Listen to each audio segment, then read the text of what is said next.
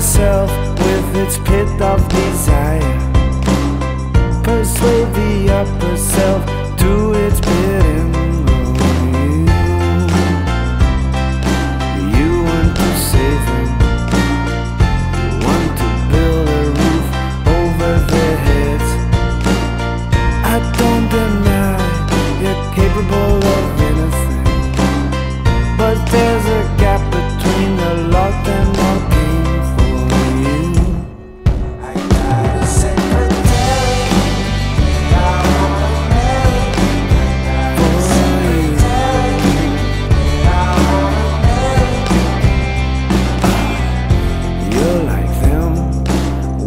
in the